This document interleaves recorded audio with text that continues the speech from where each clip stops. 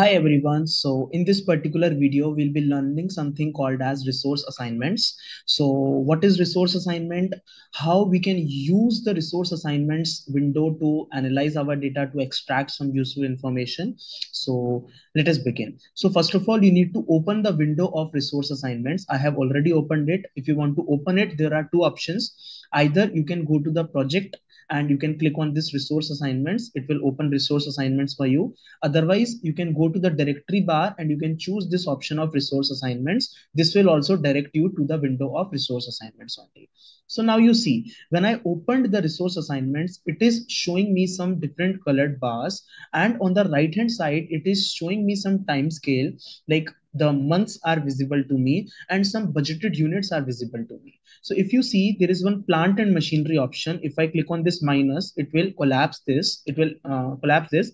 And if I click on this minus, it will collapse materials and manpower. So basically, budgeted units for P&M, material and manpower are being displayed. If I want to know that what is the total uh, man hours used in my project during the month of November, so it will be 1660 man hours for November, including your labor and staff. But you cannot get it for material because for material, the units are not similar. So that is why it is not giving you a cumulative. Instead, it is mentioning some dot, dot, dot over here. Similarly, if you want to know the machine hours for your plant and machinery, which is your concrete pump, your excavator, and your dumper. So you can see for November, 170 uh, machine hours are being used for your uh, project. Similarly, for December, some 180 machine hours are used, and for January, uh, 60 man hours are being used. You can see that for October also, since since in October very less work is there, so that is why you see everything is less because towards the end of the October only your project is starting, and the peak is somewhere going here. Okay, so let us just uh, expand that again, and you see that for everything now for every resource includes including the activity you can see the breakdown. Like for p&m you can see the dumper. Dumper is being used for 40 machine hours during the month of december and this 40 uh, machine hours are directly being used in only activity which is your earth filling and flooring. That's it Similarly, if you go to concrete pump, you can see that 170 machine hours are being used in November and 140 in December. So in November, it is coming from casting of column and your slab and beam. And in October, it is coming from slab and beam. So for all the P&M, you can see that. Similarly, for manpower, if you go, like if you go for, let's say, uh, Ashish Pandey. Okay, so if you go for the construct, he's the construction manager of our project. You can see that from here also. I don't think so it is visible. You need to add the option of roles. So you can customize everything, whatever you want. You can go to columns, you can customize, you can add whatever option you want, like roles and all, some cost you want to add here. You can do the customization from here. So he's the construction manager in our project. So for him, you see, he's consuming 90 man hours in October 260 man hours in November, 280 man hours in December, and 400 man hours in January. So the breakup, if you want, so you can go activity wise, like 10 man hours is coming from foundation, 20 man hours is coming from site clearance, then some man hours coming from excavation in this month.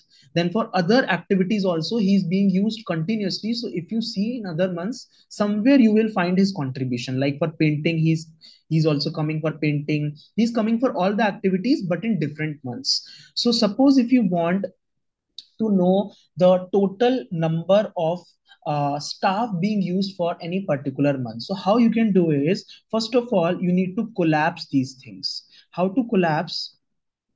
So you can go to collapse to option and you can choose the level number three, which is your yellow level. So if you click on OK, now it will collapse to yellow level and it will not show you activity wise. Instead, it will show you only resource wise. So let us go to our manpower.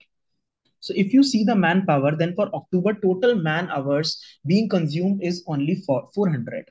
If you see the total number of uh, working days in October, then it is your 22nd October till 31st October. Let us go to calendar option. And let us open this particular calendar if you want. So if you see 2018 October.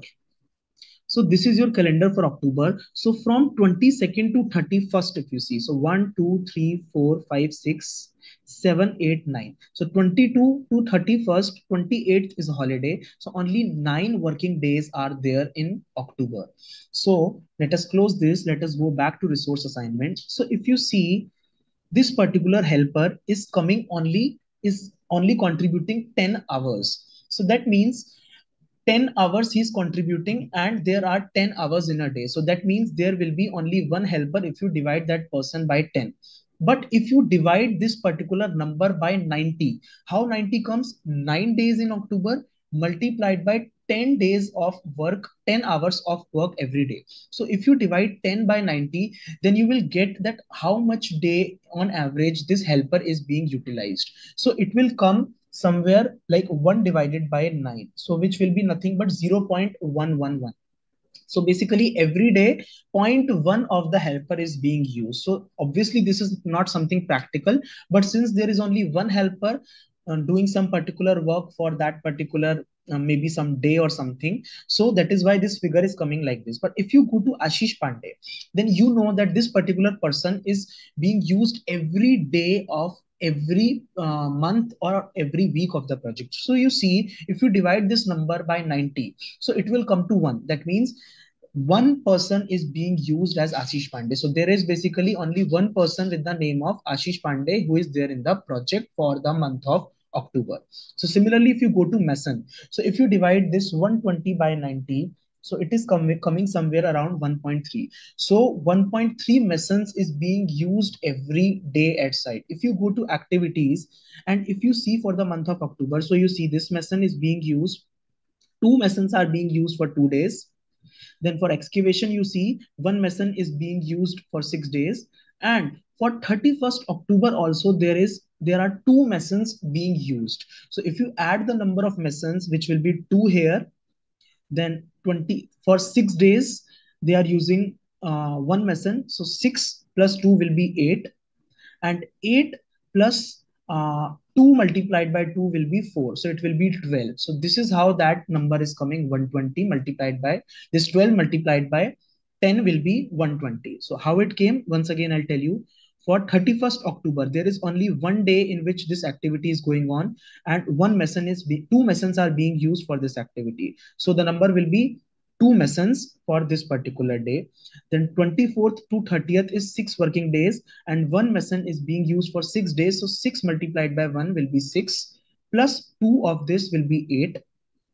Now eight is the backlog. For site clearance, it is two days and two masons are being used. So it will be 4. So 8 plus 4 will be 12.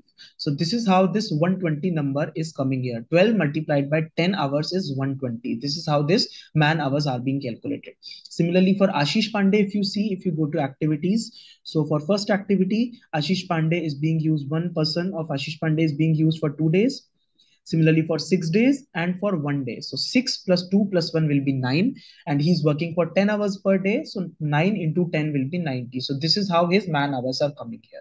Okay. So this is some table which will help you to get the total man hours or some material hours, material units or your machine hours. Month wise also you can change the time scale if you want. Time scale like I showed in the other video also. So you can change the type of calendar also then date and interval you want days and shift to be displayed. So these all things you can change. Okay? One more thing is if you want some cost and all to be displayed here then you can go to spreadsheet fields you can go to customize then you can go to cumulative then you can go to cost. You want suppose cumulative budgeted cost also to be displayed you can move it here you can click on ok so now it will show you budgeted cumulative budget units as well as your cumulative budgeted cost also okay? So every month it is properly displaying like for example you want ashish pandey. So ashish pandey is consuming 90 units and his total cost for the month of october is $27000 again you can go to activities and you can check this particular cost by adding his particular price per unit and number of days. So you go there you see Ashish Pandey is charging $300 per hour and he's working for nine days. 22nd October se leke 31st October is nine days. So nine multiplied by 300 will be 27. Okay, so this is how we calculate the uh, we use the uh, what to say resource uh, assignments for our project. You can gather so much data from it, and also you can copy this data to your Excel if you want. So like this, you can click and you can control plus C, like suppose only one row you want, two rows you want. So you can click on control plus C. You can go to Excel. You can go to open.